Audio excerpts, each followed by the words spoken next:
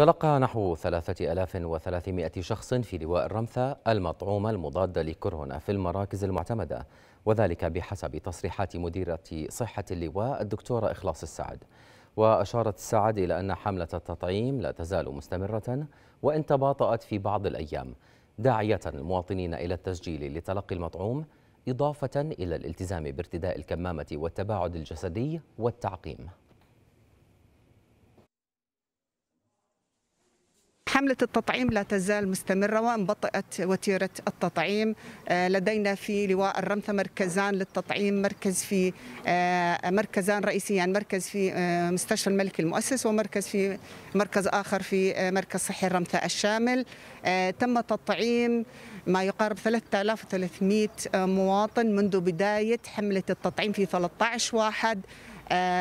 نسبة التطعيم كانت تتراوح بين 65% إلى 70% من المواعيد المعطاة على المنصة.